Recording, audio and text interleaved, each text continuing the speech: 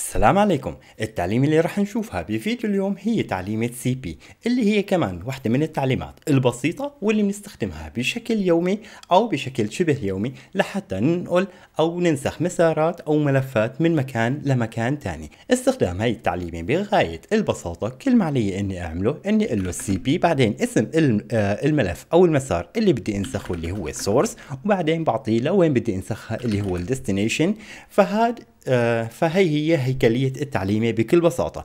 رح نستبدل ال source والسي وال destination فلنشوف محتويات المسار اللي أنا موجود فيه فرح أقول له ls-la فرح شوف إنه ضمن هذا المسار في عندي ملف اسمه file واحد وفي عندي directory أو مسار اسمه dir واحد. فلو قلنا إنه أنا بدي أنسخ ال file واحد ليصير جوا ال dir واحد. خلينا أول شيء نشوف إنه ضمن ال dir واحد ما في عندي أي شيء فرح أقول له cp file واحد.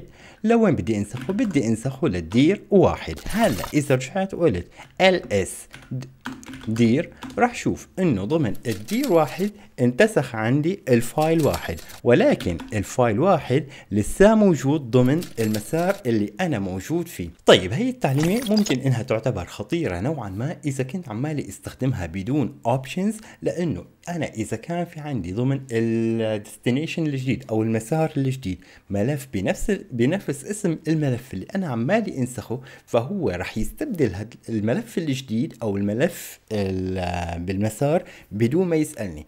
أنا لحتى اخلي هي التعليمة more secure أو آمنة أكثر فبستخدم معها ال flag اللي هو dash i فرح أقول له cp dash i بعطيه اسم الملف بعطيه اسم المسار وبعطيه enter فمثل ما لي شايف إنه عماله يسألني هل تريد بالتأكيد استبدال هي التعليمة فأنا لازم أكتب له yes لحتى إنه يستبدل الملف. هلأ وقت اللي بكتب له yes خلص هو عرف إنه أنا مالي سائل على الملف اللي موجود بالمسار وبدي استبدله. هاي كان مجرد الاستخدام البسيط لتعليمة آه سي آه لتعليمة cp. بلتقي فيكم بفيديو بكرة وبأمان الله.